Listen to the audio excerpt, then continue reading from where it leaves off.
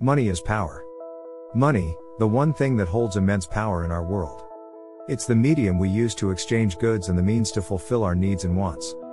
But is there more to money than just that? Are there deeper implications to it than we realize? As you'll see in this video, money is much more than just a currency. It gives control and power over people, resources and decisions, and can be a driving force behind everything from personal success to societal structures. So, let's dive into this powerful subject and see what more we can learn about it. Hash shot 1 The psychology behind money. Our relationship with money is complex. It affects our emotional well being, self image, and decision making. People have been known to do crazy things for it lie, cheat, and steal. But why?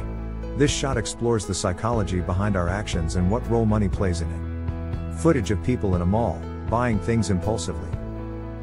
People want to acquire wealth as a way of retaining their current level of personal power or increasing it. Individuals' motivations to pursue such power can differ greatly depending on various factors like drive, upbringing, and the environment. However, once someone has a taste of money, they'll do whatever it takes to keep it. Hash shot 2 Money as a control mechanism. Once individuals have acquired a significant amount of wealth, they can use it in many different ways to maintain power and authority over others. This shot delves into how money can be used as a tool to control people and resources. Shots of high ranking officials in suits discussing policies. In politics, for instance, wealthy individuals and corporations often use their money for political gains by advocating for policies that protect their interests and limit the competition. Money can also be used as leverage during negotiations or as a means of enforcing the law.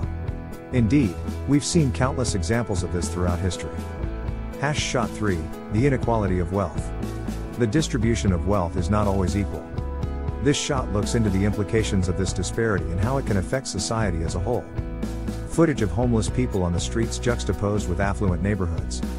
People born into poverty have fewer opportunities to thrive and may sometimes resort to CRIME to make ends meet. Meanwhile, those born into wealth tend to have more resources and opportunities available to them, which can make it easier for them to achieve success without having to engage in a struggle. Such disparities can lead to a lot of social issues and create tensions within communities. Hash shot 4 Money and work. Money and work have a direct relationship. This shot explores how our jobs can impact our relationship with money.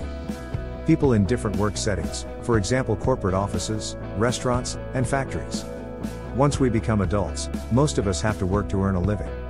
This often means trading our time and skills for money.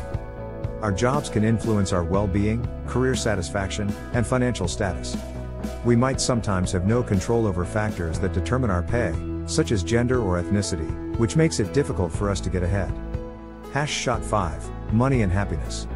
Does money buy happiness?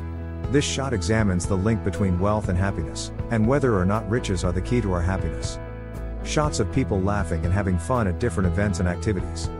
Money can indeed contribute to our happiness, but it's not the sole factor responsible for it. Numerous studies have found a strong correlation between material success and life satisfaction, but this link is weaker once we cross a certain threshold of comfort.